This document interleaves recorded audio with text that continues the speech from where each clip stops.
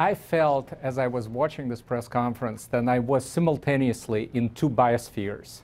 Uh, one bi- biosphere is the strategic US Russian relations, and in that biosphere, we could exhale, uh, uh, and I could explain why. The other one, uh, only a few feet away, was the domestic political biosphere, uh, where we could choke.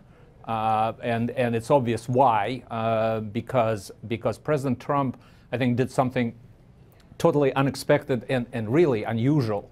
He essentially uh, uh washed domestic dirty linen uh, in front, uh, not only international audience, but with, really with the enemy.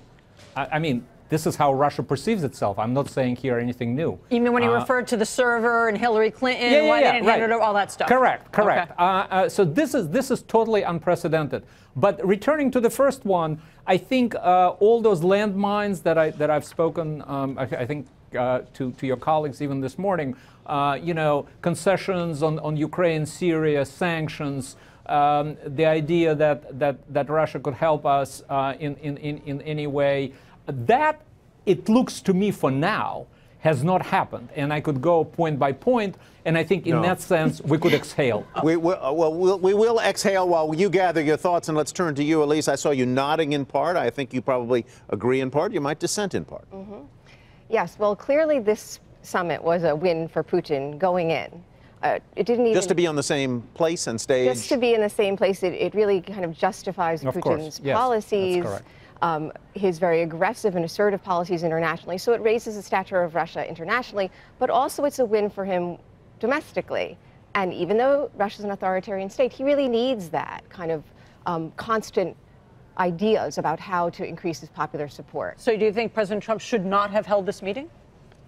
Well, that is a very uh, interesting question. I don't think he should have held the meeting now, given the indictments that were just handed down.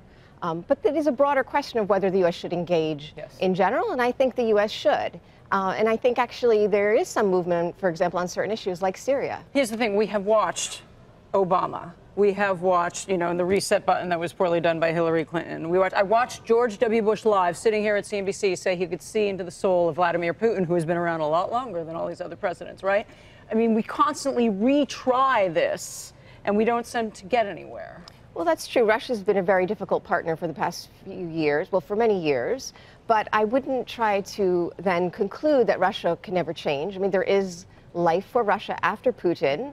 And there are many um, constituencies within Russia, in the general population, and in the foreign policy establishment that also want engagement.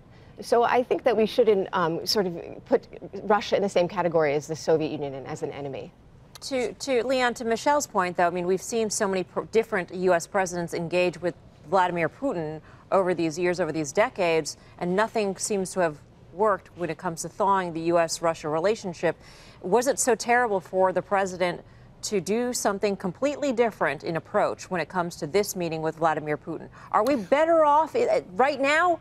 Are we better off having had this meeting with Putin today versus not having it? Well, I mean, I, I totally agree with Alyssa that um, that uh, uh, Putin going in already won because for him, as for the Soviet leaders, and Putin is a great Soviet patriot. He, he's not so much a Russian patriot; he's a Soviet patriot. Um, uh, being on the same platform uh, with the American president has always been a huge domestic boost. Now, we have not had a, a meeting until now since uh, Medvedev Obama in uh, uh, Washington in 2010. So I think, I think yes. I mean, we, we, we talked to, uh, to uh, uh, Soviet leaders, and as was correctly pointed out, Russia, as bad as it is today, is not the totalitarian Soviet Union.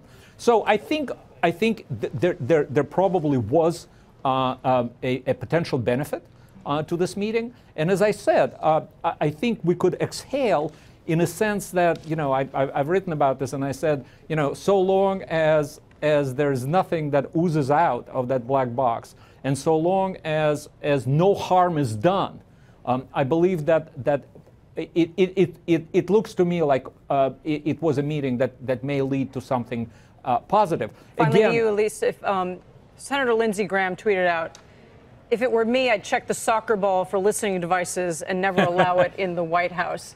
Well, I actually don't is- think that's a bad suggestion. Yeah. yeah, but but you know, you know, it, this is a perennial problem we have by dancing with dictators and authoritarians. Remember the long spoon that you have to have when you sit down with the devil. And I and, and the problem I think with President President Trump is that i he he took just a, a tiny dessert spoon to that, and and the optics of it uh, uh, uh, uh, were awful.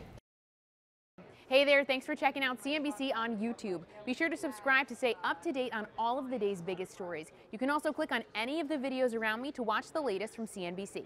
Thanks for watching.